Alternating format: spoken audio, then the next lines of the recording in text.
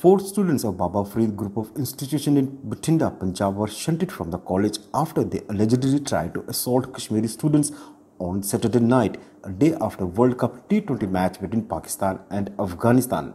The two groups had fought over the match result. Orders to vacate the four from the hostel were issued on Saturday itself by hostel warden Lakhvir Singh. The students have been identified as Kumar Kartike Oja, a 7th semester BSc Honours Agriculture student, two first semester BCA students and Ayush Kumar Jaiswal, a third semester BCA students. An inquiry conducted by the institution found that after Pak versus Afghanistan match, four students from Bihar tried to harass Kashmiri students and tried to assault them.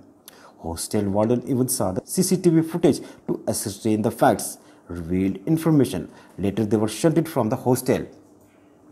Despite being removed from the hostel, the four students and their supporters have launched a social media campaign tagging Prime Minister Office, Uttar Pradesh Chief Minister, Captain Amrinder Singh and Giriraj Singh among others.